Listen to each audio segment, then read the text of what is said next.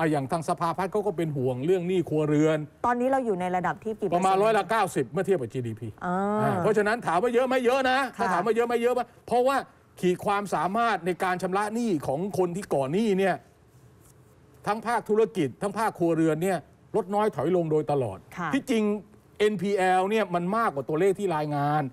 เพียงแต่ว่าแบงก์ชาติเนี่ยเขาผ่อนกฎเกณฑ์ในการจะคิดว่าอันนี้เป็น NPL หรือไม่เป็น NPL เนี่ยเขาปรับค่ะ ด้วยด้วยด้วยด้วยมาตรการด้วยประกาศอะไรของเขาเนี่ยก็มีหลายมาตรการที่เออออกมาเพราะฉะนั้นเนี่ยเพราะฉะนั้นเนี่ยตัวเลขจริงความเสียหายของสถาบันการเงิน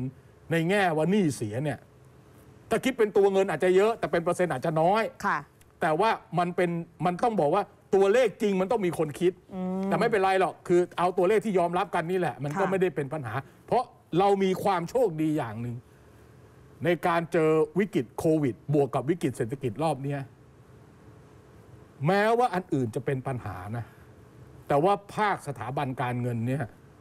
มันไม่ป้อแป้เขา action เร็วด้วยอะส่วนหนึ่งเขากลัวค่ะไม่ใช่ action เร็วอะก่อนหน้านี้มันไม่แต่เคยบอกว่าเออก่อนหน้านี้มันขี้หดตดหายมันเคยจะเจ๊งมาแล้ว มันก็กลัวแหละมันก็มีประสบการณ์เออมันระมัดระวัง เพราะฉะนั้นเนี่ย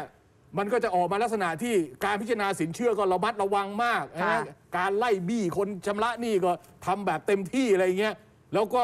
ในแง่ของต้นทุนเขาก็ลดลง เพราะดอกเบี้ยโดยรวมมันลดลงต้นทุนเขาก็ลดลงค่ะเออพูดจริง ๆ เรื่องสเปรดของสถาบันการเงินก็ไม่ได้สูงนะถ้าดู net profit net interest rate เอ่อ margin เนี่ยก็ประมาณ 2.4 ถ้าค่ะถามว่าสูงไหมก็ไม่สูงอะ่ะเพียงแต่ว่าร้อยละ 2.4 เพียงแต่ว่าจากนี้ไปเนี่ยความยากลำบากเนี่ยในการจะดันเศรษฐกิจเนี่ยมันคือจะทำยังไงให้เศรษฐกิจมัน มันมันมีชีวิตชีวา ค่ะ มันมีความกระความอะไรล่ะ มีความเอ่อคึกครื้นกระฉับกระเฉง